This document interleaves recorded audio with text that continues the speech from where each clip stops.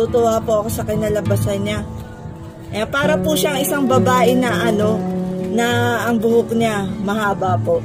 Ayan po. Napaganda po.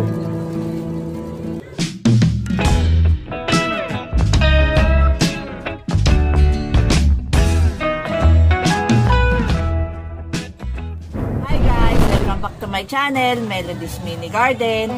For today's vlog, gagawa po tayo ng Mayana Recycle, ano, Mayana using recycle um, plastic bottle na gaya nito na yung bote ng stick, oh, ayan.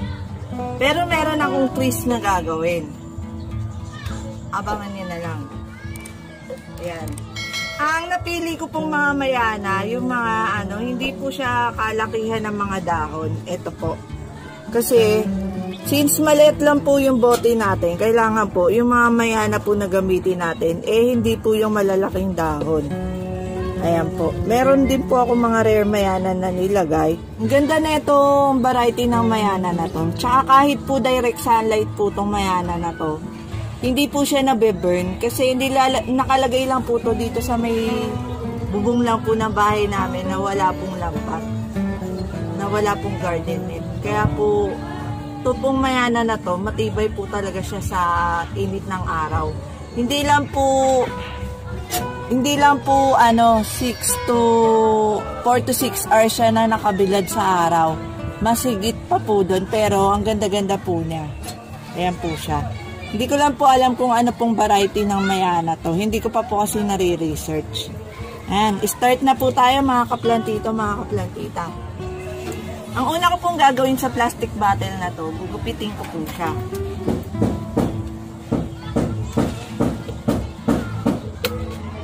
Gugupitin lang po natin siya. Ayun. Tapos pa-slant din po natin. Kaya po, nasa inyo po kung ano pong style po ng paggugupit nyo yung gusto nyo pong gawin. Pero sa akin po, ganito po. Ipapa-curve ko po siya ng konti. Gunting lang po yung gagamitin natin panggupit. Pwede rin naman po na ano, cutter. So, parang para sa akin po, mas madali po siya na ano, na gunting na lang. Tsaka po, ano, wag niyo po kakalimutan na butasan po siya.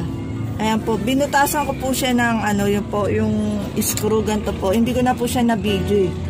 Ayan, tinapat ko lang po to sa habang nagluluto po ako ng kanin. Ayan. Para hindi rin po sayang po sa gas.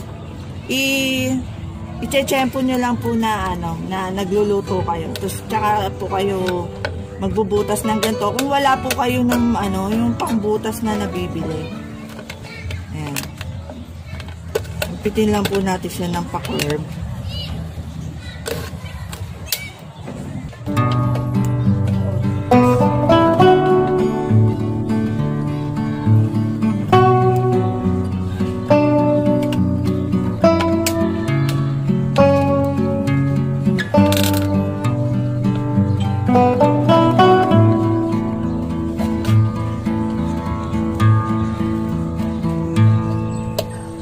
Ito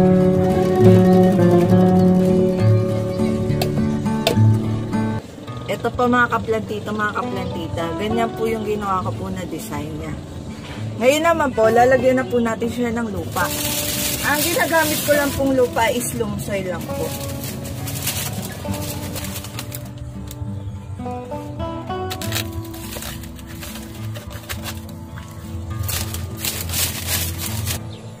Ayan, mga kaplantito, mga kaplantita, meron na siyang lupa.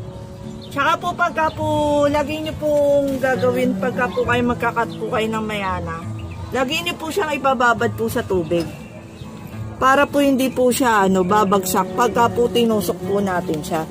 At saka maganda po talaga magpropa pagka po hapon. Yun po yung napansin ko. Pag hapon po talaga maganda po magpropagate. Hindi po talaga bumabagsak yung mga mayana natin. Ayan. Ang una ko pong gagawin dito, ito po, itutusok ko po siya dyan. Ayan po. Yung mga maliliit lang. Ang variety po ng mayana yun na yan is, ano po, frog pit po. Ayan po.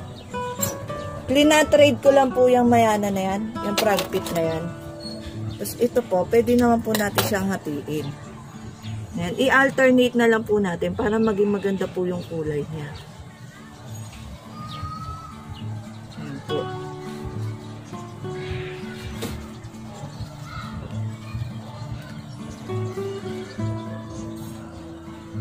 Kailangan po pagka plantita po tayo, kailangan po maging napaka-creative po natin.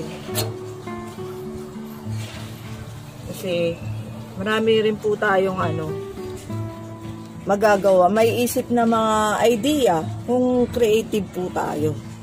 Ito, dito na lang po ito. Lumaktaw na po ako. Medyo malalaglag po yung mga lupa niyan. Pero okay lang po yun.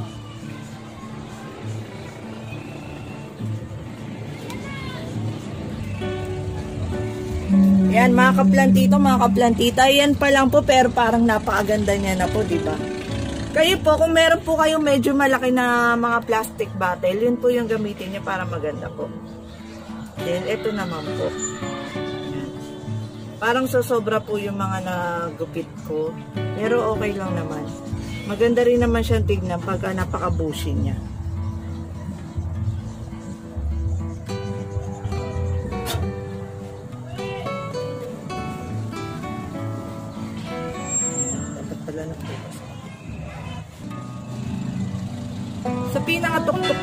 Ng ganito natin, pwede na po na ano, medyo lakihan na po natin yung ano. Medyo malalaking variety na po ng mayana yung ilalagay natin. Pero baka may hindi na po ako maisama. Ito, tingnan natin kung pwede pa siya natusukan.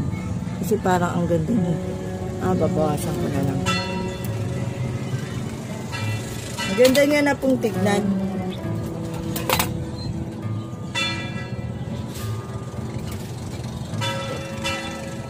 Di po ba napakaganda niya? Natutuwa po ako sa kanya kasi ang ganda po ng ano, kinalabasan niya. Ang variety po ng mayana na to is flamingo. Alam niyo po mga kaplantito, mga plantita, ng mga nakaraang araw po, medyo umulan na po dito. Tuwang-tuwa po kasi ako, tuwang-tuwa po ako nung umulan kasi gumanda po yung mga mayana ko. Gaya nga po nito, itong redhead ko na po ito, nagulat na lang po ako na naging ganyan na po siya. Kasi nasatsat po yan eh, may bumili po kasi. Halos naubos na po siya. Tapos nung nakita ko po siya, ay, ang lago na pala niya.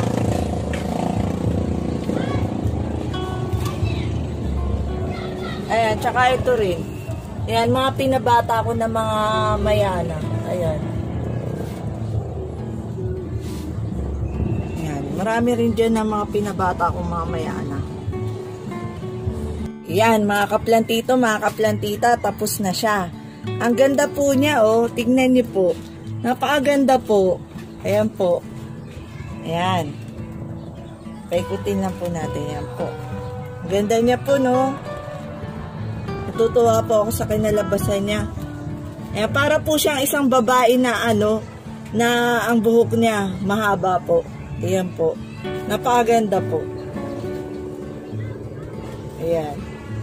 Tsaka mga kaplantito, mga kaplantita, wag niyo po basta-basta itatapon yung mga ano, yung mga plastic bottle po natin.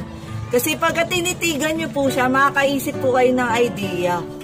Kaya gaya nga po nito, na meron po kasi kaming tindahan eh, na ano ko lang na marami na po akong ganito. Sabi ko, ano kaya ang gagawin ko dito sa bote na stick na to?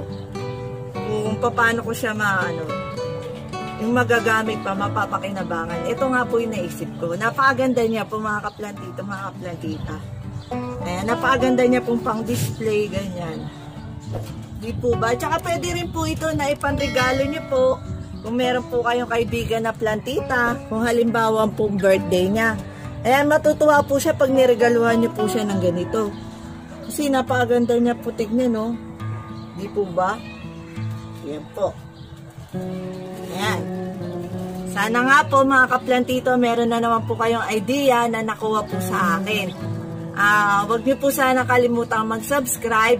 Hit niyo na rin po yung notification bell para updated po kayo sa mga video ko. Melody's Mini Garden po, ang inyong Mayana Queen. Bye po! See you on my next vlog!